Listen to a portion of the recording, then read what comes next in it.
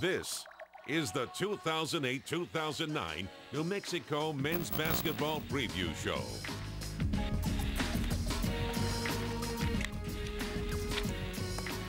Everyone, and welcome inside the Mountain Studios for the 2008 New Mexico Men's Basketball Preview Show.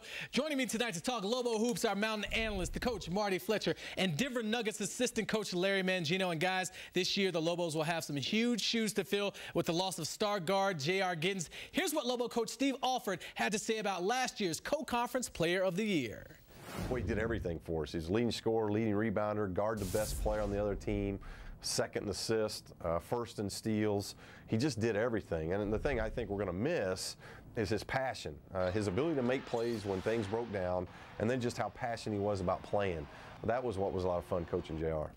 Gentlemen, Giddens is now a member of the world champion Boston Celtics, but where do you start filling these holes? He was your offense, he was your defense, he was your emotional leader. I mean, very hard to replace. Well, no question about it, but Coach Alford didn't go there to build a team. He went there to build a program, and that's what he's doing. But while he was building the program, he wanted to win some games. So the J.R. Giddens uh, just he, he did everything as he talked about offense, defense, steals, reboundings. And at the end of the year, this guy was one of the premier players, not only in the conference, but in the country. Just had a great, great uh, senior campaign. Uh, J.R. Giddens, you're not going to replace J.R. Giddens, but what you're going to do is other guys will step up. They have a lot of returning players, solid program builders, and that's what they'll do. Now, players like Giddens don't come around that often.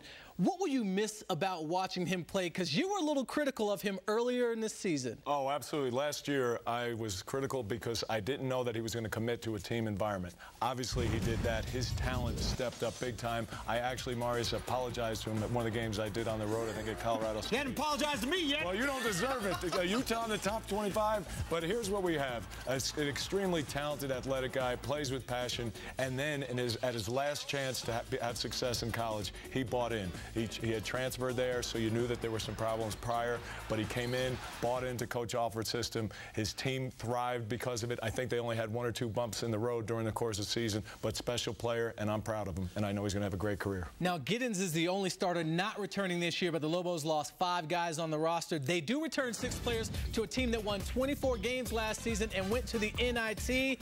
Rebuilding, maybe? Well, no, no, yeah, well, that's part of the process. You you mentioned four returning starters, but also we have to add in Tony D because he was a starter the year before. I'm talking about Tony Danridge, who is a terrific athlete, who has worked hard on his game. He's back 100%. That's going to be a big fill for, for. Now, will he take J.R. Giddens and fill his shoes. No, he's not that type of player, but he's a very good player, very athletic. He can go inside, outside. He's worked hard on his outside game. Uh, this is this is a program that had a terrific year last year, but they're just in the building process as far as becoming a national uh, power. Well, I think one of the great mistakes so far I've seen with the media, no, uh, all apologies uh, directed at you here, not my buddy here, but uh, New Mexico picked uh, fifth in the league they should have been second. I think they have returning players. Coach mentioned Tony Danridge coming back. They, their their uh, coaching staff did a great job recruiting talented players that I'm sure we're going to talk about. But I think this is a special team. I expect them to be in the top 25, and Vegas better watch out because this is a very talented team, and uh, obviously Albuquerque's a tough place to play. I expect them to have a super year and challenge for the regular season conference title. Well, let's talk about the coach. Steve Alford had a great first year, and he put some excitement back into the Lobo basketball program program. The team had nine more wins than the previous season, and the fans have started to return to the pit. And the pit has become a special place for Coach Alford. I had no idea the level of blessing it was to to coach a game in the pit. Uh, that place is it truly is unbelievable. There's there's no place like it. Uh, I've I've been very fortunate. I played at Assembly Hall in Indiana. It has an awful lot of a tradition with five national title banners hanging, and they, always wave. It seems like there's always a wind inside Assembly Hall, and uh, the arena I played in, in in high school seated 10,000. It's the largest high school gym in the world. Uh, but boy, there's something special about the pit. Walking down that ramp and the energy that's in that building, uh, that was a lot of fun. And we've got it going at a high level. Hopefully, we can keep it going. You know, he talked about tradition and things like that. How does having a coach like Steve Alford help a program? I mean, his name alone has to be worth a couple of recruits, coach. Well, he's, he's one of the premier coaches in college basketball. Make no mistake about it. And he chose not only to go to New Mexico, but to stay at New Mexico. And that's a big hit for the Lobos. This is a, a program that, uh, as Larry mentioned, can be a top 25 program year in and year out. They have a great home court advantage.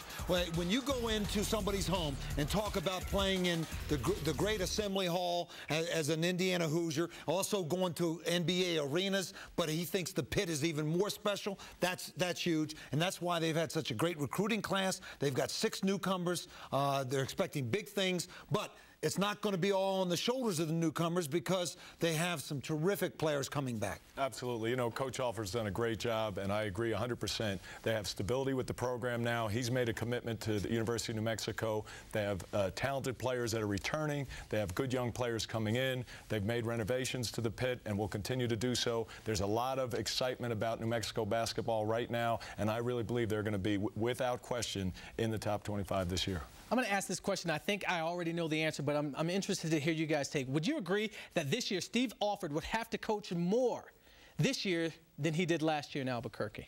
Well, I don't think necessarily that is true. Uh, he had to do a lot of work to get J.R. Giddens back into the fold because, quite frankly, when you win 24 games, and, and you've got to give a lot of credit for Coach Alford and his staff, what they did with J.R. Giddens in order to put him on the platform to be able to do what he did. That takes a lot of work behind the scenes. That takes a lot of counseling. Uh, but Hey, this guy has won everywhere he's been. He won a little quicker at New Mexico than he actually did at the other stops uh, that he made in his coaching career. Uh, this, this, this is a program that uh, they're always going to coach. Coach Alford is he loves the defense. Uh, he loves the motion game. He's got really good players. They're even going to get better. I really believe that if you look at it, uh, he, they had a great year last year, and a lot of people think maybe J.R. Giddens and all that, you lose that, so you're going to lose quite a bit. So your comment, maybe from the outside looking in, you'd say, you know, that he's going to have to coach better, they're going to have to overachieve. But there, we've talked a lot about it already. There's some good returning players, there's some good new players in there. Uh, coach is coach. They're going to go after it. They may have to adjust a little bit year to year, but I guarantee you, they did their work in the summer getting all these players. His staff did a great job. I think Craig Neal is one of his assistants, does a super job. So they got some players in there. They're going to be great. Well, let's talk about the preseason polls, and the Lobos are not getting any love after finishing tied for third last season. They are picked to finish fifth Coach Mangino, this surprises you. Oh, I was I was shocked. I was really surprised, and um, I'm disappointed. But I, I, know for a fact that, that this probably already is in the locker room. You know, we always talk about the little gimmicks and so forth. This is already in the locker room of the New Mexico Lobos. Uh, they look at that every day, and, and they know they have something to prove. They had something to prove last year. They probably would have anticipated, you know, uh, looking at a little bit higher. But in some ways, from a coaching standpoint, pick us fifth because we're going to finish higher and the Lobos were shut out of the preseason